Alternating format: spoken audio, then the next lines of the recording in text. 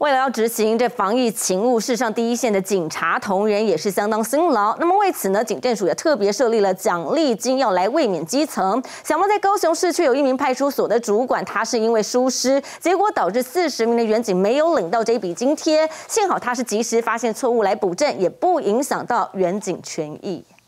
万一规定戴口罩有违反三六三七，而依照七十条要裁罚吗？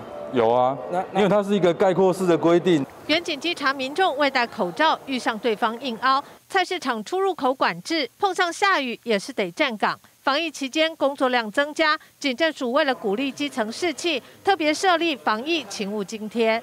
我们的特种勤务，还有重大集会的安全维护勤务。那当然，最近哦，警察同仁执行了很辛苦的这个防疫工作。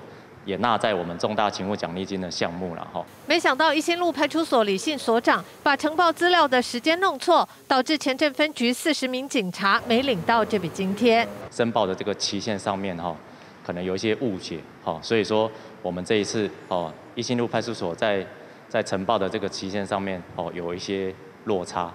这笔奖励金平均每个人两千到三千元，警局发现错误之后及时补正，远警的辛劳也获得实质上的鼓励。记者叶红荣高雄报道。